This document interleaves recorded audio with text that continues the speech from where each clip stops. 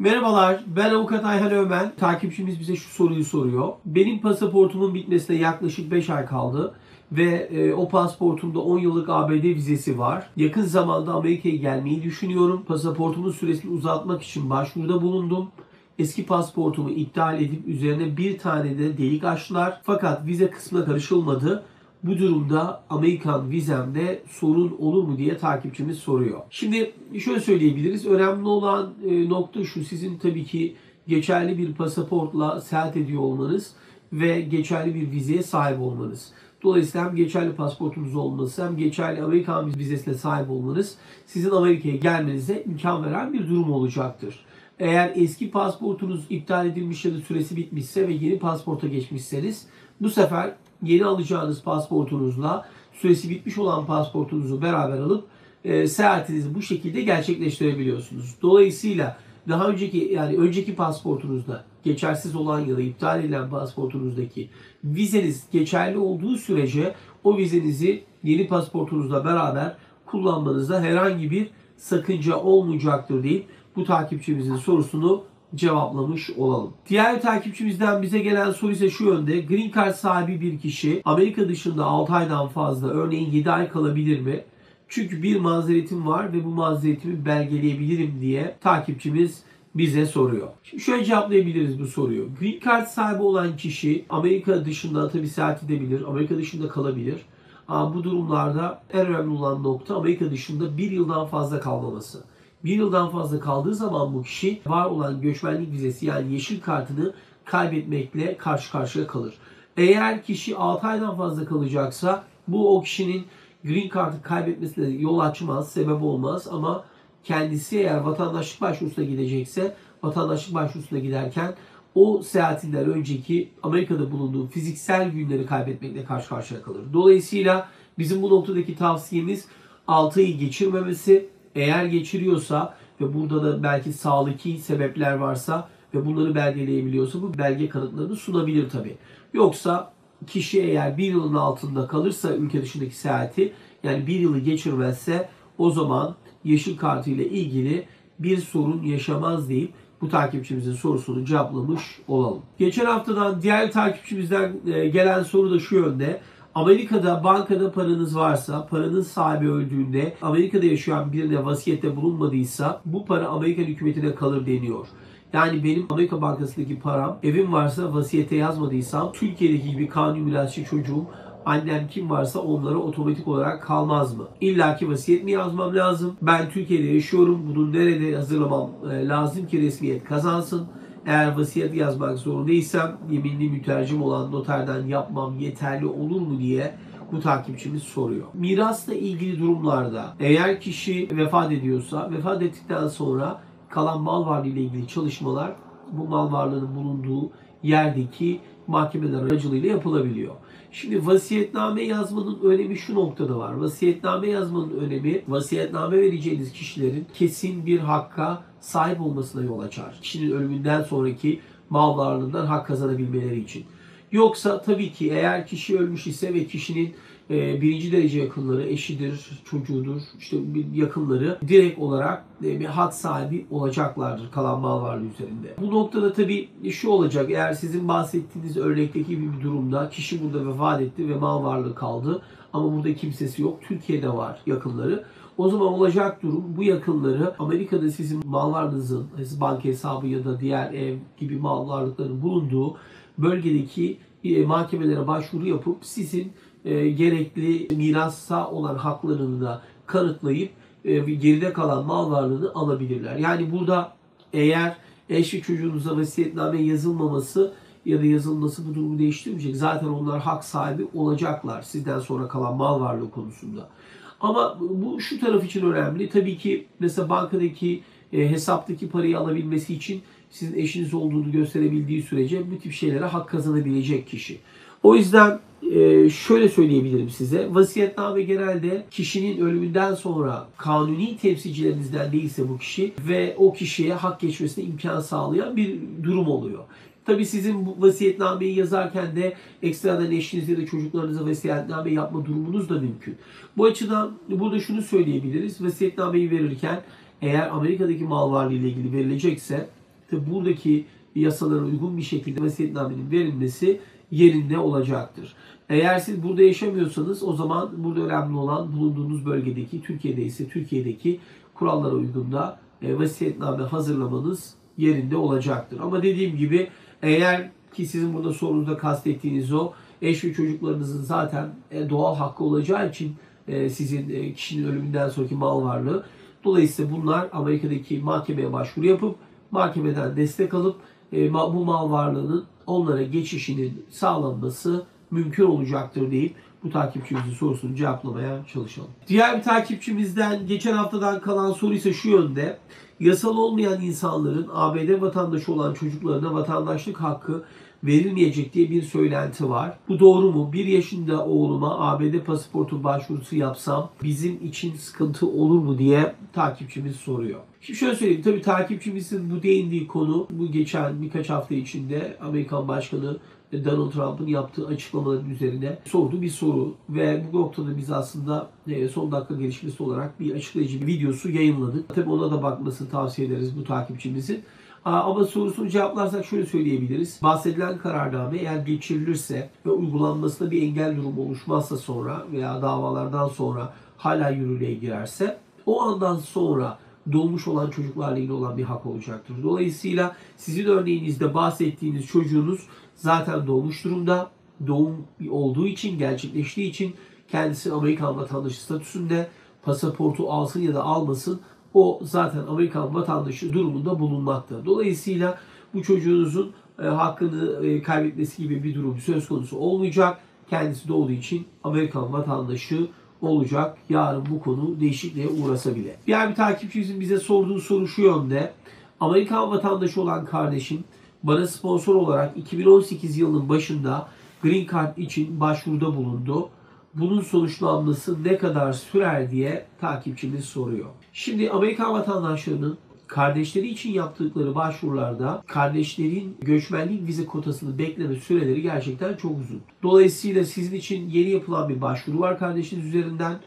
Dolayısıyla sizin yeşil karta gidebilmeniz en az 10 yılın üstünde bir sürece bakıyor. Dolayısıyla şu anki sürelerle 10 yılın bile üstünde e, çok fazla hatta üstünde olan bir bekleme süresiyle karşı karşıyasınız. Dolayısıyla şu an için söyleyebileceğimiz bunlar bu konuda. Ne kadar uzun süreceğini onun dışında söylemek çok zor.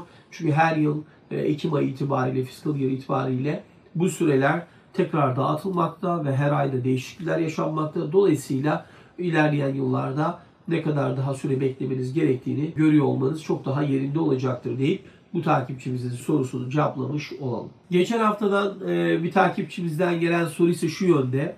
Türk hükümeti tarafından iptal edilen pasaportumdaki ABD vizeme ne olur? Bu ABD vizem de iptal olur mu? Pasaportumu yenilemek istediğim zaman bu Amerikan vizem geçerli olur mu? Yoksa yeniden ABD vizesine başvurumu yapmam gerekir diye bu takipçimiz soruyor. Diyelim sizin var olan pasaportunuzda Amerikan vizeniz var ve bu var olan pasaportunuz herhangi bir sebepten dolayı süre bitimi olabilir, iptal olabilir, geçerlisiz olur. Geçerliliği kaybetmiş duruma girdi. Ve siz bu sayede yeni bir pasaport çıkardınız. Ve dolayısıyla yeni pasaportunuzun olması sizi seyahat etmenize imkan sağlayacak. Ve geçersiz hale gelen eski pasaportunuzdaki vizeniz hala geçerliğini sürdürecektir. Dolayısıyla önemli olan geçersiz hale gelen pasaportunuzdaki turist vizenizin ya da vizenizin süresinin devam ediyor olması. O süresi devam ettiği sürece siz yeni pasaportunuz ve eski pasaportunuz ki içinde geçerli vizesi olan pasaportunuzla beraber seyahat etmenizde herhangi bir engel olmayacaktır. Dolayısıyla Amerika'ya bu vizeyle gelip gerekli girişleri yapmanızda herhangi bir sorun ile karşı karşıya kalmayacaksınız deyip bu takipçimizin sorusunu cevaplamış olalım. Geçen haftadan kalan diğer bir soru ise şu yönde. Diyelim ki eşimin adına çekilişe katıldık ve eşime green card çıktı. Fakat eşim Amerika'ya gelmekten sonradan vazgeçti ama ben gelmek istiyorum. Bu durumda ben Amerika'ya gelebilir miyim? Yoksa eşim vazgeçti diye ben de green card hakkımı kaybeder miyim diye bu takipçimiz bize soruyor. Şimdi farz edelim ki siz katıldığınız yeşil kart çekilişine eşiniz hak kazandı. Bu hak kazanmadan sonra önemli olan nokta sizin gerekli çalışmaları başlatıp e, Amerikan konsolosluğundaki göçmenlik vizesi görüşmesi için adımları atıyor olmanız lazım. Bu adımları attıktan sonra ve Amerikan konsolosluğundaki randevunuza da eşinize gidip katıldıktan sonra ikiniz de göçmenlik vizenizi alırsanız ve ondan sonra da Amerika'ya eşiniz de giriş yaparsa sizle beraber o zaman bu hakkı elde etmiş oluyorsunuz. Ama o ana kadar yani siz Amerika'ya giriş yapana kadar eşinizle beraber eşiniz o girişi yapmazsa ve bu hakkından vazgeçerse maalesef siz de göçmenlik vizesinden yani yeşil kart hakkınızı kaybetmiş olacaksınız. Dolayısıyla buradaki e, benim ileteceğim nokta bu olacak. Bu açıdan da e, karşı karşıya kalacağınız sorun ancak sadece ve sadece Amerikan konsolosundan e, vize görüşmesi değil, aynı anda da Amerika'ya o göçmenlik vizesiyle giriş yapmanız olacaktır eşinizle beraber. Bunu beraber girişi yaptıktan sonra herhangi bir sorunla karşı karşıya kalmayacaksınız deyip bu takipçimizin sorusunu cevaplamış olalım. Takipçimizin sorusu şuydu. 2019 yılı Nisan ayında Amerika'ya geleceğim. Ben terziyim. Benim ustalık, kafalık belgelerim var. Amerika'da iş yeri açabilir miyim diye bu takipçimiz soruyordu. Şimdi şöyle söyleyebiliriz burada. Eğer siz e, Amerika'da bir terzilik anlamında bir iş yeri açacaksınız, terzi dükkanı açacaksınız. Önemli olan hangi eyalete geleceksiniz, o eyaletin kurallarına uygun şirket kuruluşunun yapılıp vergi anlamında gerekli izinleri alıyor olmanız. Terzilik noktasında ayrıyeten eyaletin gerektireceği bir lisanslı izin olmayacağı için siz iş yerinizi e, açabildiğiniz sürece e, ve iş yerinizde tabii çalışacak kişiler olduğu sürece şirketiniz ya da terzi dükkanınız çalışmaya ya da işlemeye başlayabilecektir. Burada önemli olan nokta tabii sizin bunu ne zaman yönetme durumuna geçip geçemeyeceğiniz olacaktır ve onun için de eğer kuracağınız bu iş yerine yatırımınızı yaptığınız zaman ve bu yatırımınızdan dolayı da orada işçiler çalışmaya başladığı zaman ve satışlar gerçekleştiği zaman yatırımcı vizesi ya da yatırımcı statüsünü düşünmenizde fayda var. Çünkü eğer bu yatırımınızı yapıp iş yeri üzerinden yatırımcı vizesi ya da statüsüne geçiş yapabilirseniz o zaman burada e, kalabilip hem iş yerinizi yönetip hem de yatırımınızı yönetmiş olursunuz deyip bu takipçimizin sorusunu cevaplamış olalım. Evet, geçen haftadan gelen diğer bir soru da şu yönde. DS 260 formu sadece kazanan için mi yoksa bütün aile fertleri için mi dolduruluyor diye takipçimiz soruyor. Eğer siz göçmenlik vize e, çekilişine başvurdunuz ve bu hakkı kazandınız, o zaman siz hem kendiniz için bu DS 260 formunu doldurmanız gerekiyor, hem de eş ya da çocuklarından oluşan aile bireylerinizin her biri de DS 260 formunu ayrıyeten doldurması gerekiyor.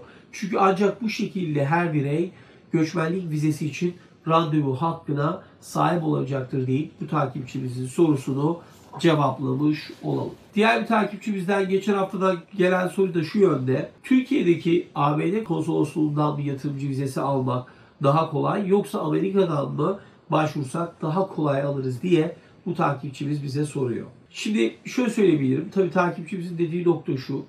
Amerika yatırım yapılıp, şirket kurulup ya da satın alınıp, yatırım yapılıp ondan sonra yatırımcı vizesi almak istediğimizde Amerika'daki göçmenlik tersi üzerinden gitmemiz mi daha kolay olur? Yoksa Türkiye'deki e, Amerikan konsolosu üzerinden mi gitmek daha kolay olur diye bu takipçimiz soruyor bize. Buradaki asıl önemli olan nokta tabii sizin ne tür bir yatırım yaptığınız, nereye yaptınız, ne kadar miktar yatırım yaptınız, işinizin hacmi, e, durumu, bütün bunlar ve tabii sizin planlarınız hepsi aslında dosyalardan dosyaya değişebilir. Sizin için Amerika'daki göçmenlik tersi üzerinden mi gitmek daha kolay olacağı yoksa Türkiye'deki Amerikan konsolosluğu üzerinden mi gitmek daha iyi ya da daha kolay olacak noktasını değiştirir ya da belirler. Dolayısıyla bu cevabı vermek çok zor olabilir. Hemen yalnız şöyle söyleyelim.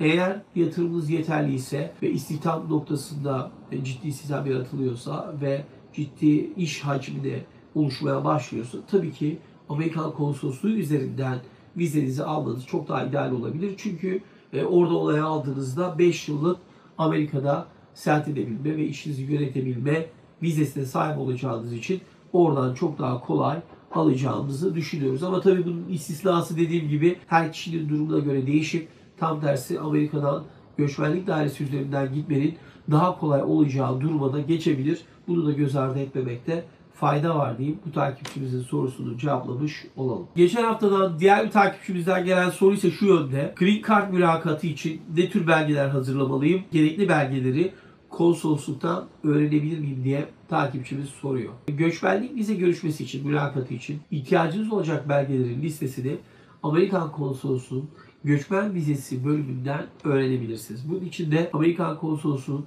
e, web sitesine girerseniz e, Ankara için, Türkiye'deki elçilik için oradan göçmenlik vizesi evraklarının neler olduğunu listesini görebileceksiniz.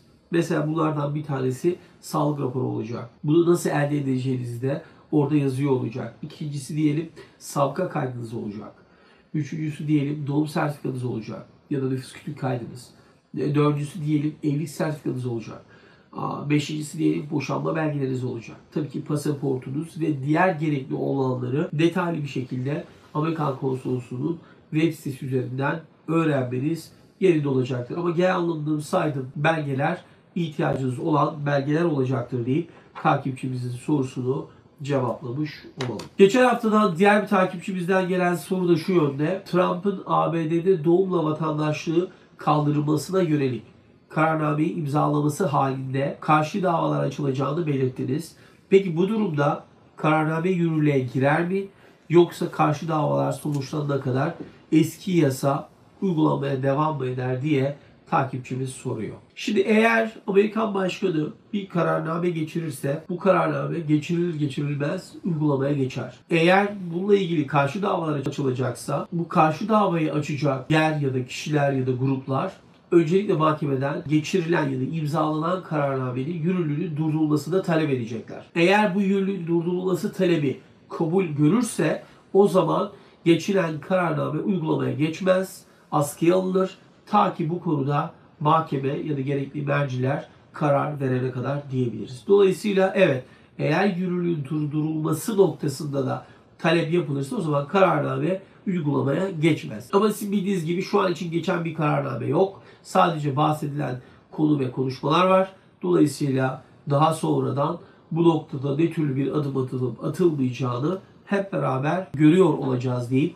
bu takipçimizin sorusunu cevaplamış olalım. Evet, geçen haftadan diğer bir takipçimizden gelen soru ise şu yönde. Oğlum bana bağlı olarak F2 vizesine sahiptir. Üniversiteye devam edebilmesi için F1 vizesine müracaat ettik. Aradan 6 ay geçmesine rağmen herhangi bir cevap alamadık. Sorum şu, bu gecikme normal midir? Bu durumda Amerika dışına çıkmak tekrar girişte sorun yaratabilir mi diye takipçimiz soruyor. Şimdi sizin bu durumda bahsettiğiniz gibi oğlunuz Amerika'da bulunuyor ve F2 vizesi var. F1 vizesine başvuru yapmış durumda ve bunun cevabını 6 aydır alamamış durumda. Bu öncelikle normal midir? Evet bu normal. Şu anki statü değişiklikleri başvurularındaki bekleme süreleri epey bir uzamış durumda. En az 6 ay, 7 ay, 8 ay hatta daha üstü bir süreye kadar uzadığını görüyoruz. Dolayısıyla bu şu anki bekleme normal. Eğer kendisi Amerika dışına çıkarsa bu içeri yaptığı, başvuru yaptığı F1'i kaybetmiş olacak. Tekrar içeri girerken sadece giriş yapabileceği vizesi F2 olacak. Kendisinin F2'si olduğu için F1'e başvuru yaptığı için ve bu başvurunun sonucunu almadan çıkarsa öncelikle F1 başvurusu düşüyor. Ve Amerika'ya tekrar girerken de vizesi yoksa F1 için F2 olan vizesiyle ancak giriyor olabilecek. Dolayısıyla şu anki durumda bu sonucu beklemesi daha yerinde olacaktır. Ve F1 onayını aldıktan sonra da eğitim durumunu F1 altında devam ettirmesi daha uygun olacaktır deyip bu takipçimizin sorusunu cevaplamış olalım. Geçen haftadan gelen bir takipçimizden gelen soru ise şu yönde. Eşimin erkek berberliği üzerinde 30 yıllık tecrübe ve ustalık belgeleri var. Amerika'da iş yeri açmak isterse nasıl bir yol izlemelidir diye bu takipçimiz soruyor. Şimdi öncelikle önemli olan nokta şu. Eğer eşinizin Amerika turist vizesi var ise ve açmak istediği iş yeriyle ilgili yeterli yatırımı mevcut ise ve bu yatırımın kaynağını net bir şekilde gösterebiliyorsa o zaman kendisi öncelikle Amerika'daki bu şirket kuruluşunu ve o iş yerinin açılması adımlarını atması gerekecek. Ve gerekli adımları attıktan sonra, yatırımını yaptıktan sonra ise bu şirketi ya da bu iş yerini yönetmesi yatırımcı vizesiyle ancak mümkün olacak. Dolayısıyla evet kendisinin 30 yıllık tecrübe ve ustalık belgesi olması o işi iyi yapacağını zaten gösteriyor ama önemli olan nokta yatırım yapabilmesi, iş yerini açıyor olması ve iş yerine çalışmaları başlatıyor olacak çalışanlarla beraber. Dolayısıyla kendisi de ancak yatırımcı vizesine onay aldıktan sonra bu iş yerini yönetebilecek, başında durabilecek. Dolayısıyla buradaki tavsiyemiz de bizim o olacak. Yoksa kendisinin izleyeceği yöntemler bu şekilde olacak deyip takipçimizin sorusunu cevaplamış olalım. Geçen haftadan gelen diğer bir soru ise şu yönde. Amerika konsolosluğunda mülakatı İngilizce mi Türkçe mi yapacaksınız diye sormuyorlarmış.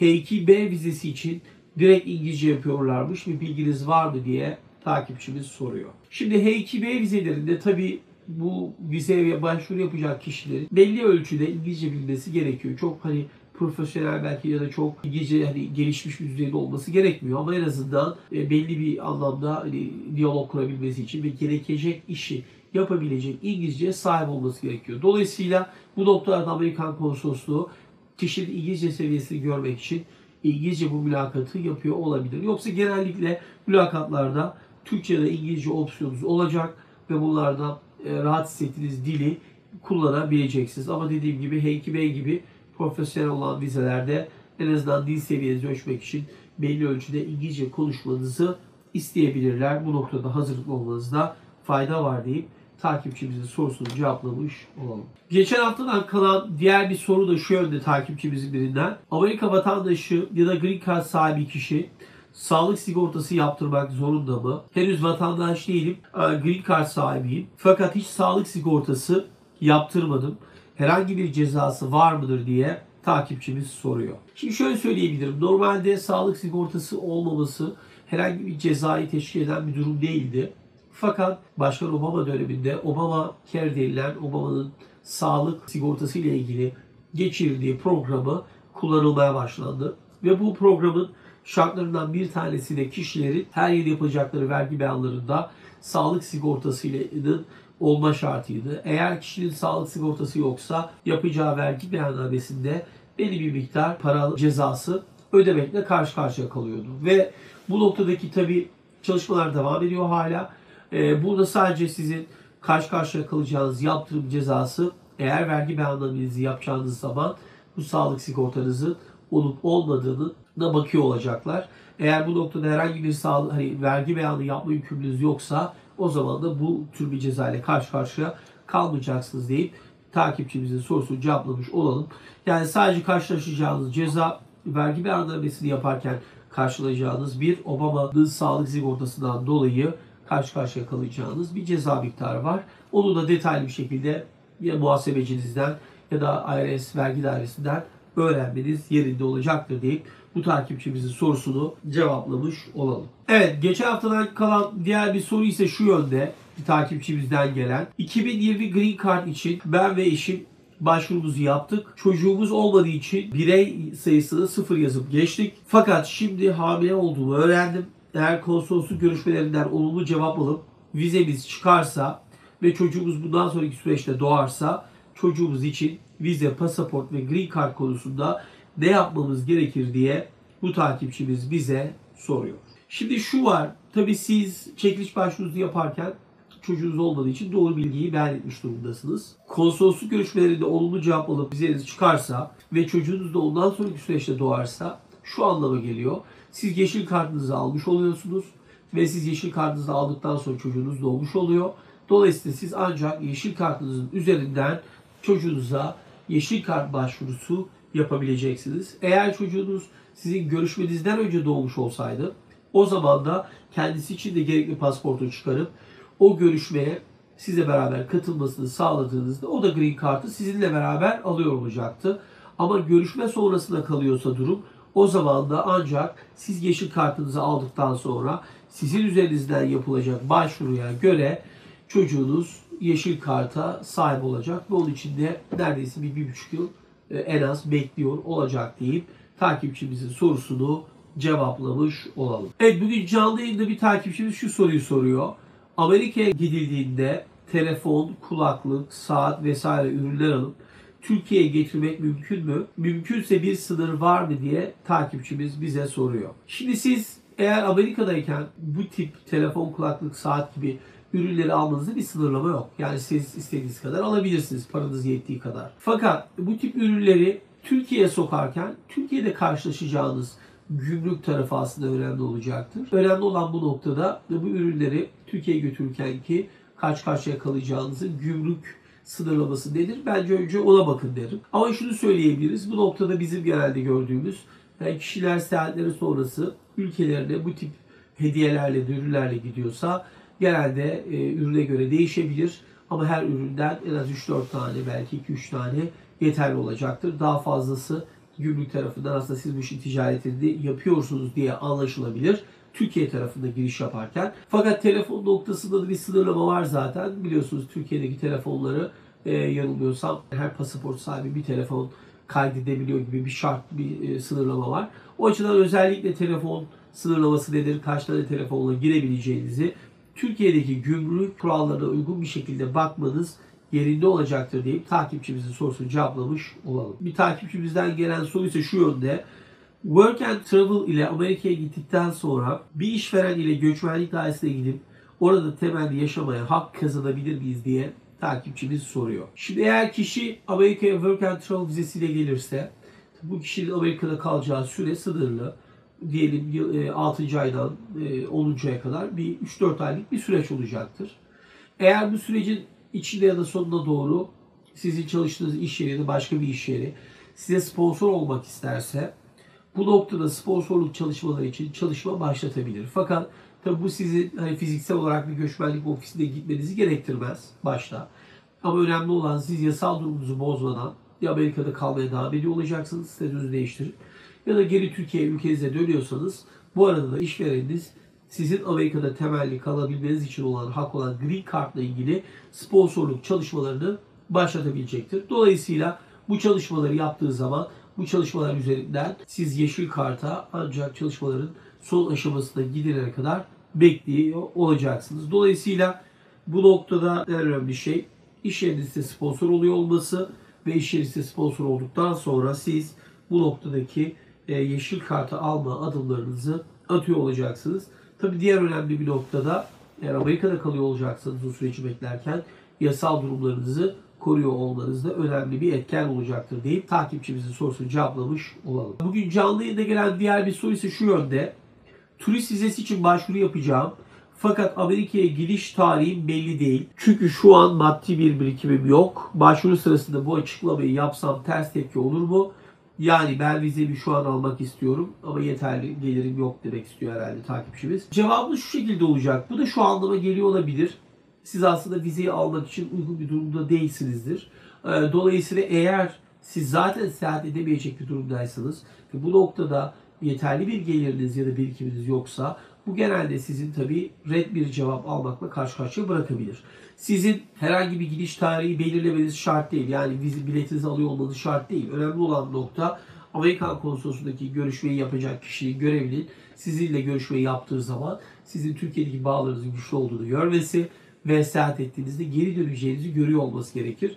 Tabi bu da eğer sizin finansal anlamda yeterli bir birikiminiz yoksa olumlu bir cevap alamayacağınız anlamına geliyor. Dolayısıyla aslında hiç vizeye başvuru yapmamanız çok daha mantıklı olabilir. Ne zaman seyahati yapmayı planlıyorsanız o zaman itibariyle buna başvuru yapmanız çok daha yerinde olacaktır deyip takipçimizin sorusunu cevaplamış olalım. Aa, bugün canlı yayında diğer bir takipçimizin sorusu şu yönde. Turist vizesiyle Amerika'ya gelip H2B vizesi alabilir miyiz? Nasıl alırız diye takipçimiz soruyor. Turist vizesiyle Amerika'ya geldiğinizde önemli olan turist vizesi sonrasında buradaki belli bir statü değişikliğiyle burada kalıyor olmanız lazım. Eğer bu kalmayı sağlarsanız o zaman H2B vizeleri için olan bekleme sürelerinde bir yasal durumunuzu kaybetmeden burada kalabilirsiniz. Önemli olan H2B vizesi statüde başvuru yaparken sizin burada kalıcı başka bir statüde oluyor olmanız. Bu statüde olduğunuz sürece siz H2B'ye geçiş yapmanızda herhangi bir engel olmayacaktır deyip takipçimizin sorusunu cevaplamış olalım. Bugün canlı yayında bir takipçimizin sorusu da şu yönde. Turist vizesiyle Amerika'ya gelerek şirket kurmak için hangi evraklar gereklidir? Eyaletlere göre değişiklik gösteriyordur sanırım diye takipçimiz bize soruyor. Turist vizesiyle Amerika'ya gelip eğer bütün planınız iş kurmak, şirket açmaksa o zaman giriş yaparken siz iş amacıyla geldiğiniz görevlilere söylemeniz ve bu sayede Amerika'ya da B vizesinin alt türü olan B1 ile giriş yapıyor olmanız gerekiyor. Bu girişi yaptıktan sonra şirket kurmanızda bir engel yok. Şirket kuruluşu yapılabilir. Bu noktada evraklar noktasına geldiğinde de çok prosedür gerektiren evraklar gerekmemektedir.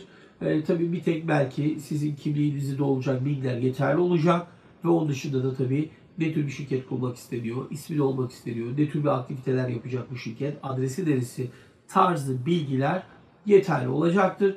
Tabii eyaletlerden eyaletlere göre de bu bilgilerin bazısının biraz daha fazlası ya da altı istenebilir deyip bu takipçimizin sorusunu cevaplamış olalım. Evet bugün canlı yayında gelen diğer bir soru ise şu yönde.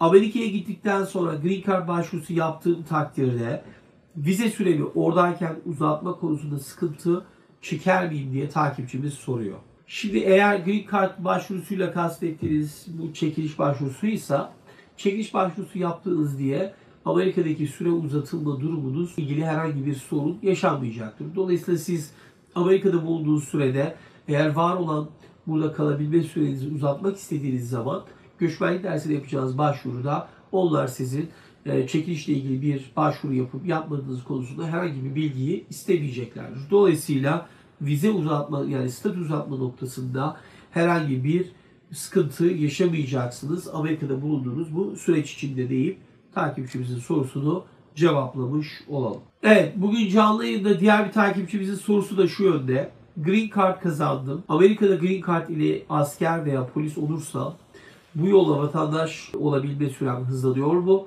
Ve kaç yılda vatandaş olabilir diye takipçimiz soruyor. Şimdi genel olarak siz Green Card kazandıysanız ve Green Card'ınızı aldığınız zaman 5 yıllık sürenizin sonunda Amerikan vatandaşı için başvuru hakkınız doğuyor. Eğer bahsettiğiniz gibi asker olarak bir göreve geçerseniz tabii ki Green Card'larında girebileceği askerlik bölümleri olabilir.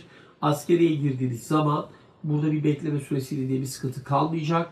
Askere başlar başlamaz e, askeriyedeki gerekli daireyle görüşmeyi yaptığınız zaman sizin vatandaşlığa geçiş işlemini hemen yapıyorlar. Yani dolayısıyla belli bir süre beklemeniz gerekmeyecektir. Ama dediğim gibi siz askeriyenin her bölümüne giremeyebilirsiniz.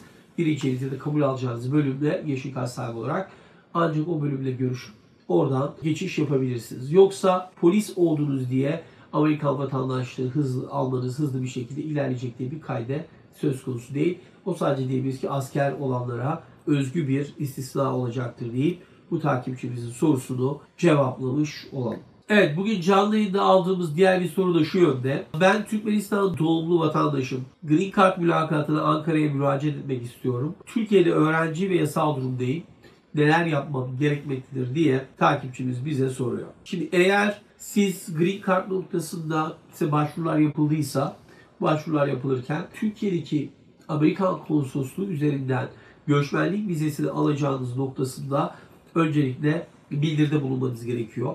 Ve bu bildiride e, bulunduktan sonra siz yani göçmenlik vizesi çıktı ve çalışmaları yaptınız Center'la ve bunu Türkiye'de yapacağınızı söylediniz. O zaman onun üzerinden ilerleyebiliyorsunuz. Dolayısıyla buradaki önemli olan nokta hangi konsolosluklarda, hangi ülkedeki Amerikan konsolosluğunda bunu yapacağınızı bildiriyor olacaksınız.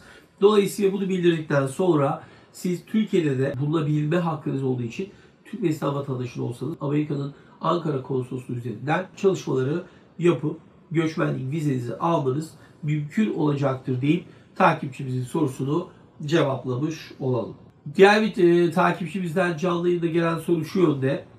Üniversitemin son yılında work and travel ile Amerika'ya gidip eğer geri dönmezsem çalışıp kendi halinde geçinip yaşayabilmek için ne yapmalıyım diye takipçimiz soruyor. Eğer burada kalma gibi bir durum oluşursa o zaman öncelikle var olan o zamanki olacak J1 e, vizenizi yasal başka bir statüye geçiriyor olmanız lazım. Bu yasal statüye geçirdikten sonra burada yasal durumunuzu bozmadan kalabilmeniz gerekiyor. Eğer bu noktada bir iş yeri de sponsor olmak isterse o zaman o iş yeri üzerinden size yeşil kartla ilgili e, çalışmalar yapılıp o süreci tamamlıyor olmanız gerekecektir. Dolayısıyla bunlar yapıldıktan sonra siz e, gerekli şekilde yasallığınızı da koruyup Amerika'da kalabileceğiniz iş yeri üzerinden ya çalışma vizesi ya da yeşil karta geçme durumunuz olacaktır deyip bu takipçimizin sorusunu cevaplamış olalım.